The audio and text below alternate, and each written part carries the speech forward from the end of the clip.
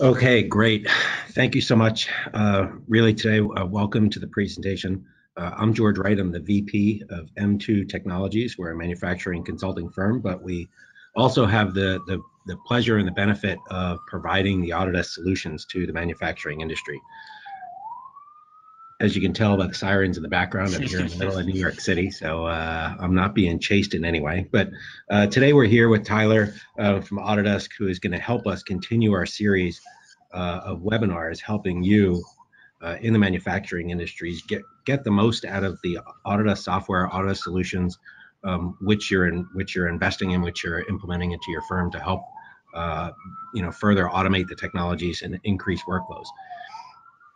Really, without further de delay, I would really like to introduce Tyler, turn over the webinar to him, and let him take it from here. Tyler, thank you so much for helping us, and please take it away.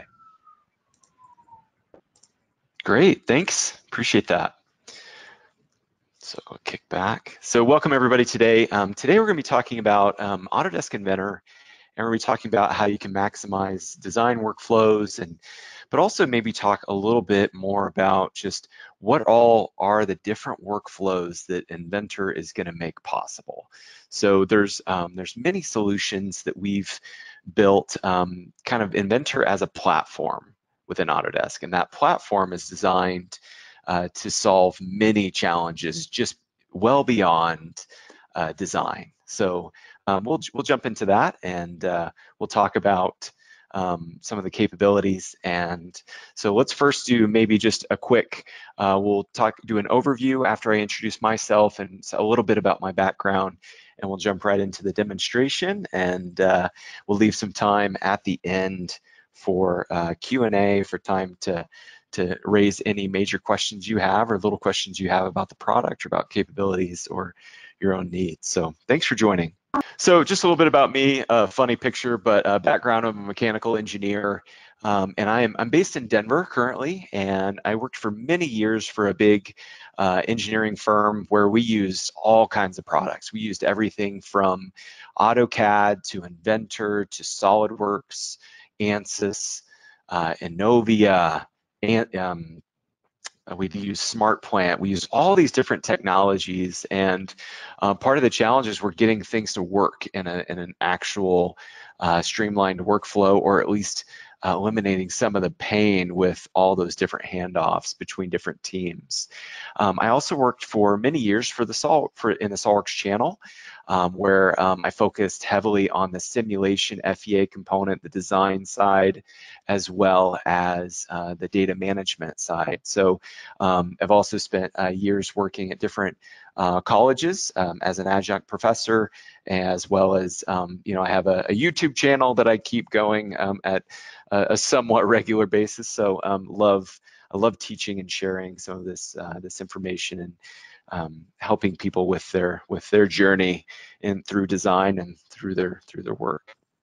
Okay, so uh, just one quick thing about Autodesk that some people um, aren't aware of. Um, most people are. They call us the AutoCAD company in some cases. But um, the big thing is, is we've been around for for you know 30 years and um, have seen some tremendous growth over the years. But one thing that I love to see is that 27% reinvested back into product back into R&D. I love seeing that, that it continues to get pushed, uh, which is growing our product. So when we look at that, um, the thing that we're trying to understand and help our customers with is just what does the future of making look like and what technologies are going to be critical in that path. So, um, you know, we care about the whole landscape of, of design and engineering, not just the design, not just simulate or not just uh, manufacturing or machining, but the whole landscape from even just communicating. So, um, I'm going to be talking about Inventor today. And uh, right at the top, so Inventor, Nastran, and HSM, these are three tools right there that are all part of a platform. They all work right within Inventor, um, whether that's the ability to do virtual testing or the ability to create tool paths and send that to a CNC, um, the ability to leverage Fusion for a generative workflow or to bring in AutoCAD or if you're using electrical, electrical has this uh, actually has uh, a, a, full integration within Inventor where you can do uh, cable and harness design. And then there's all these additional products that kind of help in the workflow separate of Inventor. And we've put all of this together in one package um, to make it easy to go end to end. That's that is the goal to make it a better experience where you have tools at your disposal to go beyond just uh, designing. So, but for today, um, we're going to be focused on that design and engineering side, and we're going to use some of these upcoming webinars to talk more about the platform, about advanced simulation, about CAM and the ability to toolpaths, factory design, how does electrical play, what, how do these things go together with Inventor? But for today, let's let's target Inventor, and some of the things. Um, bear with me, guys. I know that we have just a couple more slides, and then we'll get get talking about um, the actual software. But one thing that I think is critical for everyone to be able to do in a design tool is parametric. And that's just a fancy word for the ability to make a design change and see that update in the assembly and see that update in the drawing. But even beyond that, to go into that my design intent is that this hole always stays centered and when I make changes around it, it still stays centered no matter how big I make the part, how small. So it's gonna keep your intelligence throughout the model. That's really the goal of parametric. There's another thing that's really important for a lot of people, like the ability to take someone else's file and make changes to it without having to have that whole history tree. What if the parametric is not really there? Can you still make the design changes you need quickly and easily? And uh, Inventor does have that capability, and we call it direct modeling or direct editing. Uh, other things I'm going to talk about is the ability to share information over the web easily, quickly, without any of those bottlenecks around technology, around downloads, around firewalls, around those types of things. And then let's talk a little bit about the engineering side of Inventor. Um, one thing I love, I you know I use SolidWorks for many years, and I I love that tool. But one thing that just blows me away about Inventor is it has a lot of engineering tools that it goes beyond design and gets into calculations built in to make your life as a designer engineer easier. So we'll jump into some of that. Um, just to you know gloss over some of the you know the big improvements. We've added some serious improvement around large assemblies, the ability to open large assemblies, edit them quickly, view them, make drawings, create those parts lists. Um, I've seen a huge uptick, you know, um, in some cases five times faster, three times faster. So I'm seeing a big um, improvement for our, our customers that have 2,500 components, 10,000 components, 50,000 components. So those types of large, large designs are seeing big improvements. We added the ability to nest so that you can optimize for sheet metal or wood or whatever that you need to optimize for a laser cutter, water jet, what type of operation where, or even to a CNC of how can I lay out my design the fastest and best way to save money. So that's now built into Inventor with the collection. Um, one thing I'll show a little bit later is AnyCAD, giving you different uh, concepts or capabilities around do you want to bring in someone else's file and not convert it, not change it to Inventor, but rather keep it a SOLIDWORKS file to where if they were to send you an updated version, it just updates seamlessly right in your assembly. Maybe someone's doing the motor design for you in a different CAD product. Maybe someone's doing the shell or the housing and it's it's outside of your company, but you want to be able to bring in that, that other CAD data. You can do that and work with that in a clean, easy way. Uh, of course, we have the ability to do um, full powerful FEA with Nastran, and that's built right into Inventor. And that's, you know, in some future webinars with the ability to, to simulate and get feedback on designs. And then you can optimize your designs as well as take into account, you know, advanced materials like nonlinear materials, rubbers, plastics, carbon fiber, um, or as well as crazy loading types, whether they be dynamic or nonlinear or um, time-based. So any of those types of operations covered within that workflow. We have a full data management tool, Vault, that plugs right within to Inventor, works right in Inventor. It's seamless, and that's a that makes finding data, reusing data, not having to redo things because you're able to find those past projects, past files, uh, based off of any kind of information that you put in that file, whether it's the keyword, who created it, when it was done, the file size, uh, the cost center, any kind of information that you want to attach to a file. Um, Vault will make that all easier to use and to manage. And then, of course, toolpaths within Inventor, the ability to create full um, full end-to-end machining capabilities, whether it's a lathe, a mill, mill turn, all the way up to five axis. This is an incredible tool. I love HSM. I wasn't very um, capable, you know, very proficient with this uh, technology until I was introduced to HSM and I was blown away with how fast I could program a part and actually go and build, you know, uh, cut chips right on a on a Haas mill. So it's incredible. And finally, um, AutoCAD does go right in. We can, you know, import, bring in those DWGs and recognize them.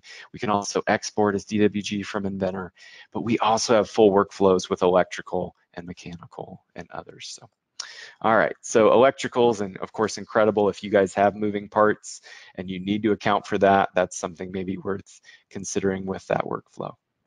Finally, the, the last thing I want to mention before I get into Inventor is we have this new technology that I've been completely blown away by, and it's called generative technology and it's um, generative design. And it's a totally different way of looking at things where you could take something as simple as this press, this clamping system, it's just a bunch of simple milled out parts um, that if we needed to optimize for weight or stiffness and consider a bunch of materials and consider um, different ways of even uh, producing this, whether it be 3D, like additive, like 3D printing, or metal sintering with a 3D printer, or even just what would be the best thing we could mill out out of a simple CNC, what, how could we save weight or how could we optimize this? And what I love is you simply tell it where you need to keep and hold material. You lay out a few materials and then it kicks out these incredible wild concept. So it's almost design exploration, right? And this one was, you know, a 95% weight reduction and down to, you know, under 100 grams. Um, but it also was um, done in, you know, under an hour. And I didn't draw this. Um, Generative just kicked it out to me. This one is uh, maybe a little bit easier to fabricate, but this one even further. Like this one could be done on a three axis mill. It'd be a lot of setups. I wouldn't want to really do it myself. But um, the point is you can optimize for the simplest of machining, even if you want to take it further. And then you can continue to reduce all the parts and then how far can you take that? And what are the advantages to that where it makes sense for you financially? The point is you now have another team member that's creating these new designs for you and that's the technology that's generative. So pretty excited about that. And you know watching it in action always fun to see like the iterative process that even the technology goes through of refining this down to try to converge on the load types and the materials that I specified. And it's giving me this place of this is where we can meet that convergence of the ultimate weight loss with enough stiffness and strength and uh, the material specified. Okay, so maybe let's jump into Inventor now. Thank you for your patience. And first to kick it off, um, I'm in Autodesk Inventor. I'm in 2019 and I have um, a pedal box assembly open. And, you know, kind of first thing out of the gate, the things that I like to remind people about with Inventor is right up at the top right is my name, and that is a named user. I log in with my simple free uh, email and password, and that logs me in. And that's not really that big a deal. This is a local install on my my laptop. But where that gets exciting or where that's cool a pain point for me was when I was in industry, you know, I'd have guys that needed to travel and they needed to use their design tools elsewhere and they didn't always have a laptop. They might have a really powerful workstation right under their desk and they didn't use a hmm. laptop and then i had users that had laptops and then i had people that had a home office and i had all these different users and I have the same challenge for myself is I need to be able to work on several different stations. Maybe I need to go out to a workshop machine. You can install Inventor as many times as you like and you can have it ready to go on all these different machines but you can come in and log in with your username and it activates and then boom you're you're now activated on that machine and using your license there. So that was a, a nice transition for me coming from the old days where it's a serial number and it's tied to one IP address and that's it right? You really can't use a home machine that easily without a bunch of paperwork or um, you know use it correctly. So I love that we can kind of access it from anywhere and maybe talking about access is one thing that um, is new uh, in the last few years is the ability to share information with someone, maybe in your office, maybe outside of the office. Maybe it's a strategic vendor. Maybe it's uh, maybe it's a new vendor. Maybe it's um, a client of yours that you're working on a design concept for them, and you need to share that information with them quickly. I have a terrible story about a few years ago. I was working with my brother. He sent me a um, a napkin sketch of a design. I drew it up real fast, thinking I'm an expert with CAD. I can do, you know, I can make this, and I did. And I sent him the file, and we spent days trying to get him to download the right viewer and get it working on his old laptop. And finally, it it worked, and it was with several, you know, lots of emails and lots of frustration. I felt like I thought I was an expert. I thought, you know, this shouldn't be that hard. And so when we created this thing called shared views, I was blown away. Um, what it is is the ability to create a 3D viewable of this data. And you can see I have some other ones uh, already created, and I can include different types of information. But what, what's cool about this is if we go out to that, to that cloud uh, link, is it's all based on the web. So it's just a URL, meaning if you give someone the, the link address or the URL, they can go out to this site and they can view it. So let's jump out there and let's look at some of this. This also can be a free viewer for um, your uh, peers, your, your vendors, whoever it is, um, you can, uh, they can bring in step files and other types of files for free and view files as they wish. But when someone sends me this URL, this is what they're gonna get. On a smartphone, on a tablet, whatever it is, you send them the link, they get the file, they can now move it around, they can understand what you had intended to share. If it's an assembly, it has the ability to explode. If you'd like to share um, kind of what makes up this assembly, you can turn off the names for all the parts and subassemblies, but the, the user can come in and understand and hide certain components in order to um, you know, highlight and isolate what they care about. Um, the other thing with the ability to make comments. So um, I could come in and uh, you know maybe grab a certain scrap. It grabs a snapshot, and then I can come in and mark this up, and you know call something out, add a, some text, add my question, my concern, whatever it is, and save that. That will continue forward as a collaboration between me and my other peers that I'm sharing this with. What's exciting is it's also a snapshot. It, it goes right back to what they were looking at, what they were concerned about. It's um, it, it shows that snapshot in time so that you know what they were viewing when they asked. They weren't looking at the underside. They weren't looking at the front. They were looking at a certain angle. So pretty incredible. Um, I've had lots of lots of customers just mention how easy this is for them to use, how important this will be for very small specific parts of their business. And they're using it in ways that surprise me, whether it's just I'm using this internal with one of my team members who doesn't have any design tools, as well as um, I was talking to a consultant and his whole goal was to have be able to share data out on the cloud that was his whole goal and this fit the bill perfectly for him so um, you know a lot of different use cases for it but hopefully um, this could be useful for you this is in available in inventor as well as if you're familiar with our Vault product, um, you can do this straight from Vault. So the ability to share data outside the, the firewall is pretty incredible and pretty exciting. So I'm just gonna open that one that I created a few minutes ago just to check it out and make sure I'm looking at the right thing. Okay, good. So that looks good. Now, one question that comes up is how do I share this data with someone without them stealing it from me, right? So um, maybe I'm being dramatic, but this data is now, um, this is, uh, this can't be CNC'd, this can't be 3D printed, um, this is not data, this is just viewable information. It's tessellated triangles. Um, it can be measured, which you can turn that on or off. Now, if you want someone to download the files, there's another workflow for that, and it's uh, kind of just a different step. But let's jump back into Inventor and get, get going. Okay, so um, first, let's talk really quick about parametric. Um, this is a parametric design. This is an assembly. How do I make a drawing of this? Um, incredibly easy to do that. I know this is pretty pretty easy for some of you guys that are familiar with the product. I won't we won't be here very long, but the ability to bring in that 3D model, create your drawing on the fly.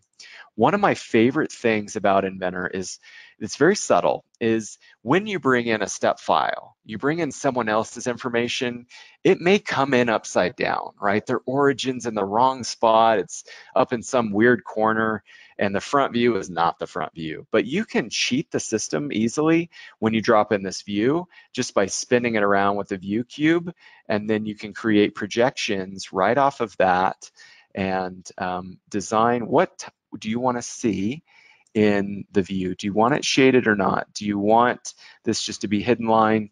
And what scale do you want this in? One other really cool option here is I could also reference some other file. Like if I wanted to show this buyout part as well on a drawing, I could add that in in a minute. I could add that step file and it'll create that drawing, create those views, and we can annotate this correctly um, one thing that we do in uh, Inventor is the ability to bring in all of the model dimensions. That's all the dimensions that you already did at the part and assembly level. At an assembly at this size, it'd probably be overwhelming with all the dimensions, so I probably wouldn't want to do that. I'd probably want to do my own dimensioning. But to quickly create that parts list is probably pretty important for me. And so I can, can do that based off of a view and drag that in. And we can put this, you know, wherever we need this to, to sit, um, whether it's in the top right or um, off to the side. So um, we've got the ability to do that parts list and annotate that with um, with balloons and to to call this out and and get this where we can fabricate it. All right, I know this isn't the most fun part of design is doing drawings, but it's typically the most critical. It still seems to be our currency for us as designers and engineers is at the end at the end we're always creating drawings. Some companies have are, are just going right to machining and fabrication and that's awesome, but even in that case, most companies are still creating their 2D drawings and that's critical. So if I want to um, you know make a change to this part file um, and I want to see that update on the drawing, I can do that. And um, of course, uh, we have some new capabilities with even our simple, simple hole wizard. So um, with our hole wizard, we have the ability to leverage um, effectively a machinist handbook, so to speak, right? So I've got um, all these different um, uh, tapped holes that I can do, and then I can go in and leverage the different uh, standard sizes and I can drop these in. And what's exciting about this is this no longer requires any kind of pre-sketching, but I can uh, even plug in the dimensions as I go and um, I can, you know, kind of create distances right now. So what's exciting is I'm doing this without having to do a sketch first. And that's kind of pretty different from most workflows, even in other CAD tools. So the ability to add these holes, to save this information and to see that in the drawing and have that update automatically. So we can save that. I don't need to follow that. But um, yeah, we can see that uh, in the drawing. But let's let's jump back. So um, one thing I wanted to make mention before um, I want to talk about how do we um, create parts fast and intelligent with some automation. So let's jump into that. But before we do, how do we create a decent presentation view of this? How do we create something like I'm running into a design review tomorrow um, and I want it to look decent. I've got some concepts I want to show off um, or the marketing team just needs something decent for the website for right now or uh, we got a trade show tomorrow and I need something that's okay. The ability to jump into these visual styles, whether it's monochrome, a technical illustration, a uh, even a sketch or a watercolor. You have some of these built-in presets immediately within Inventor. And as well as you can go all the way to, um, you know, a pretty nice looking, maybe I would say an engineering grade rendering where it looks pretty sharp, but maybe for um, those marketing nerds out there, 3D Studio Max is even better, right, uh, and more powerful, but you can do either one right? And, and 3D Studio Max is included with Inventor with that collection, but just to be able to do this quickly, um, as well as turn on ray tracing and have it create nice high-powered um, renderings uh, at the end, we can do that. I can kick on this ray tracing, and this will take a while, uh, depending on how many processors I have and how high of of a rendering do I want to create? Do I want a draft, a low, a high? So all that's kind of just built right in to Inventor. Okay, so one thing I want to talk about next is how do I create um, a design quickly um, right within Inventor with some automation built in. So this is one thing that is, is pretty different that's included right within Inventor. It is called iLogic. And iLogic is kind of, um, it spans a lot of different use cases and a lot of different capabilities. Anything from as simple as um, you know, being able to build simple parts faster with uh, maybe even like a spreadsheet type experience, or the ability to fully build out an assembly and its drawing all with some just clicks of the button, right? That maybe gets you 80% of the way. So first thing in Inventor, sketching is gonna be just like all those other tools out there, the ability to sketch on planes in 3D or in 2D, the ability to drag on these dimensions and these dimensions be parametric, meaning they drive how this behaves and we can add constraints, of course, as needed. And there I have a couple different dimensions, but I can build an intelligence right in the tool itself. If I were to say this is the height and it equals one, and I were to say this, um, whoops, it's one except double click, and this is the width. Equals two. Great. Let's extrude it. The extruded depth could even be a parameter where I say this is the thickness and it equals one right? So there we've got a simple plate.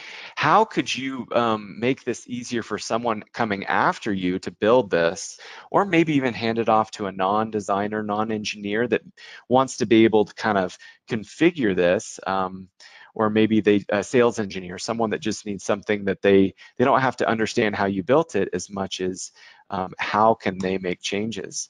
So with iLogic, we have something incredible as simple as create a form.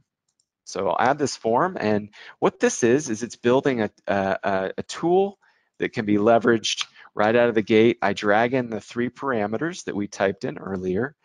And now when someone wants to run this, they just click it and there's our form. They can drive how this behaves. They can just plug in numbers and have the model update and we can get as crazy as we want with this, right? I know this is an incredibly simple example, but this is all built right in. And I know for SolidWorks, um, I worked a lot with um, uh, some additional components that we had a third parties that I would bring in to, to build this kind of automation in. And I love the ability to do that automation. So I love that with Inventor, we've added this in to just it's just a part of Inventor. So if we want to you know jump ahead to maybe a finished version, um, let's look at one that we've done I've done in the past. And it's a larger assembly, and I want to be able to run not only just that form, but I've put in if-then statements, right? I've added some simple um, VB code right into the iLogic configurator And when I hit configure, it's got a, a much better form, right? You've got the ability to um, design based off the belt width. I have my, uh, my, my icon, I have my logo, as well as the ability to come in and select these. You can see that these are pull downs. They're not freeform text. Um, I've got a free form up here, but you've got all that control of do you want to just put in pull downs? Do you want radio buttons? What do you want to help your users configure the model, hit OK, hit apply, watch that assembly update, create the drawing. You can even create the drawing with iLogic and have that configured as well. So hopefully you see some value in this, whether it's as simple as just, these are some standard things that I do a lot of, I'd like to automate that, or it's we have a sales arrangement drawing. That's something that we did at my last company that we did a lot of those and it just needed to be close enough for the sales drawing. It didn't need to be perfect, but it needed to show our prospects what we intended to build and what we intended to make for them and what we were quoting. And this is incredible as well as this feeds out to our, our website uh, Configurator 360. And maybe I can show that on a, a different, uh, different day, a different webinar. So the next thing I want to talk about was that direct editing that I, I mentioned. So what happens when um, you know, there's our, our tool, sorry, our assemblies automating, updating, and see all these changes happening on the fly once I've made all these big changes to the configuration. Um, what happens when you're bringing in someone else's data? Right? What happens when you're working with SOLIDWORKS or ProE or uh, Fusion or any other file formats out there that you want to bring them in? So in Inventor, we give you a couple different options. I want to show those now. So let's look at, um, I've got, uh, let's, let's open first just a SOLIDWORKS file. So I've got some SOLIDWORKS files and they haven't been converted there, um, I've got an assembly. I'm gonna open that. And what I love is uh, Inventor's gonna ask you two questions. Are you, or were you hoping to keep this as a reference file or convert it? Convert it means change it into an Inventor assembly and Inventor parts. And as you might know already, that when you do that, uh, whenever you bring in another CAD file, no matter what tool you're in today, if you're in SOLIDWORKS, you're in Inventor, Fusion, whenever you bring in someone else's file, you lose that history tree. You lose all the steps, the sketches, the fillets, the extrudes, the cuts, the holes that you can edit. That kind of goes away, and that's normal uh, within our industry. I wish it wasn't the case. Inventor can do feature recognition. It's included in the tool. But my experience with that across the industries, across all the products is none of them do that perfectly, as well as none of them capture the design intent of the user. It doesn't seem to ever really translate. I would love to see that technology in the future that just seamlessly does that for, for everyone. But for the moment, um, it's important that we could bring in this ball valve and we could have someone else's file. We could drop this into our larger Inventor assembly and when they update the network drive with this or they email me the latest SOLIDWORKS file, it's just going to update right in my main assembly. And I love that. That's called AnyCAD. The other thing that we can do that's in, really incredible is this idea of direct editing. So you've got this um, step file, SOLIDWORKS file, you bring it in, it turns into an inventor part, but it doesn't have any history. That's what we're used to. Now, how could I make all the design changes that I need to make without having to rebuild this from scratch? So I'll kick on my direct editor and I'll just go to work, right? Um, first thing I'm gonna do is I don't need the emboss of the, the previous um, name or builder or whatever it is. I don't want that. Instead, what I wanna do is um, I'll select all those faces and then, um, you know, start working on how we can delete those faces and then maybe like move some of these holes and stretch some faces. How do you do that without having to start over, right? So let's do that. Looks like I got a little stuck there. So I'll select these faces. It selects all of them and I hit the delete key and hit accept. It tries to remove those faces, backfill it with geometry and saving me some time there. That's great. Next thing is someone says, yeah, that, that hole is in the wrong spot as well as this is a little short and that there's some fillets you need to get rid of, right? So um, I'll just select this face at the end and drag it with the triad. I can drag with uh, numbers numerically um, and hit accept, um, or I can um, just drag it kind of free form and get a feel for it. I can move where this hole sits. I can uh, delete it and put in a new hole. The good news is when you add a new feature, so if you said, Tyler, that nasty fillet there in the corner, that is just weird. I don't know where that came from. That got created in my other CAD system that didn't mean to, or it's an old file and I don't know why that's still there. Can we delete that? Yes, let's delete it. And then you say, well, but can you drop in a fillet um, or can you drop a fillet on this edge? What happens if you do?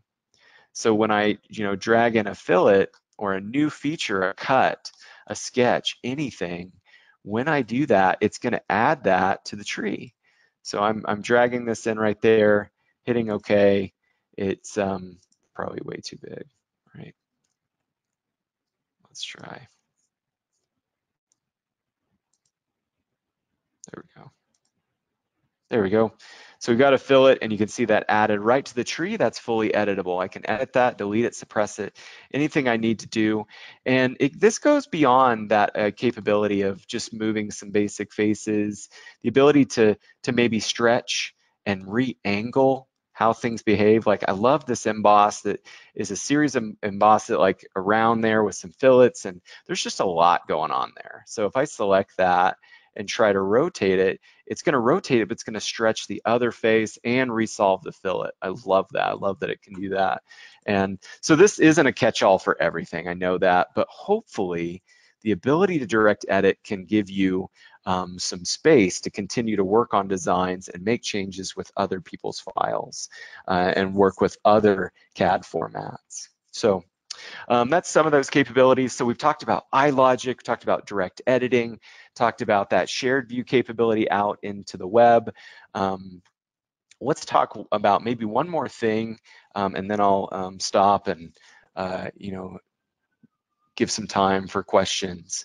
Um, the other thing is the, the kind of that more engineering side of Inventor is the ability to create weldments, structural members, um, as well as the ability to take a, um, an existing assembly and create geometry, but also the ability to get quick calculations and feedback, kind of like basically a machinist handbook just built right into Inventor. That's kind of was hoping. I always had one on my desk ready to go but um, now maybe I can start to leverage some of this built-in tech. So uh, we have everything from bolted connections to a frame uh, generator, of course, mentioned that, but the shaft tool and bearings and welds, the ability to analyze these and get feedback.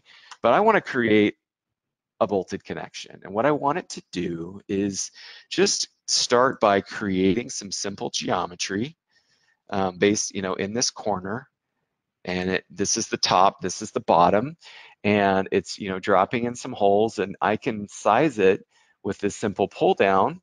Um, but I also can add some fasteners, you know, from our content center. So from our pre-built library, this is all, you know, out of the box functionality.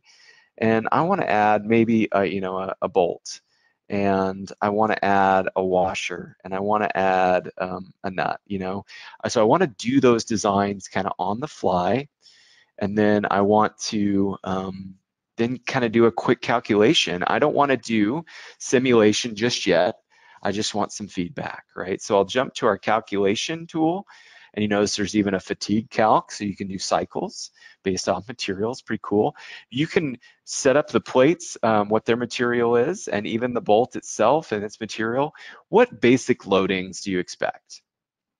What um, type of, you know, what's our preload, what's our tightness, what's, um, what's the factor of safety, right? So we've got all these things, and if, if I run it, it's saying the safety requirement isn't met.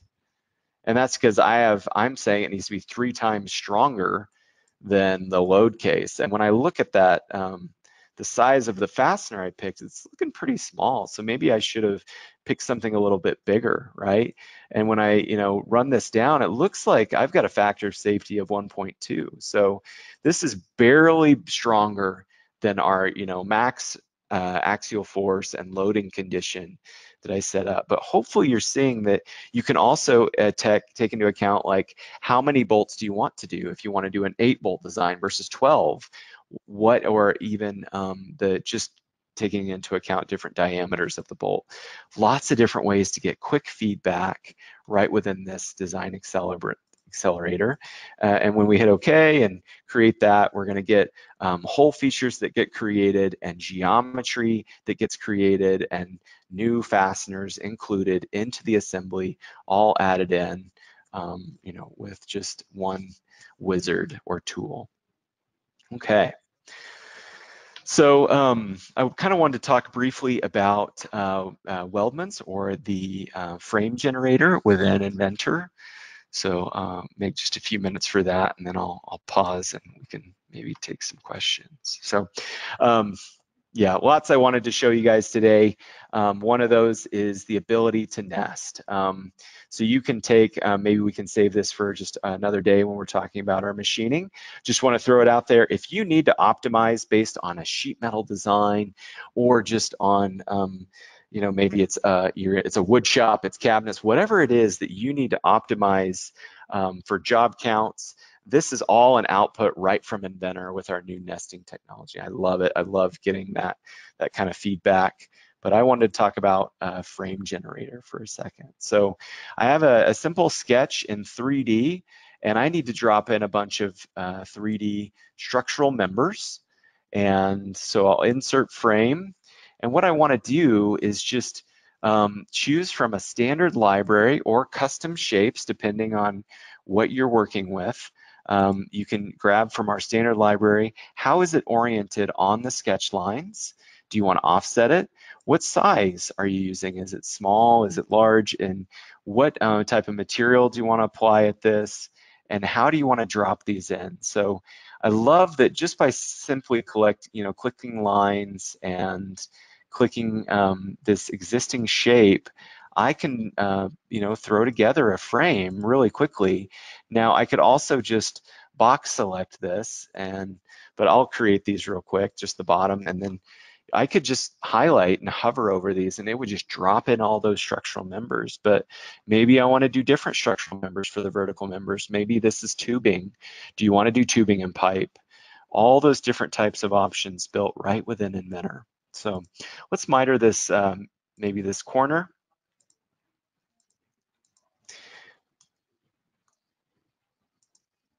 So just by selecting corners, we can choose to butt these. We can choose to miter them with a gap. We can choose to just gap them. Uh, you can have a, a three-point connection from three different members coming into a corner.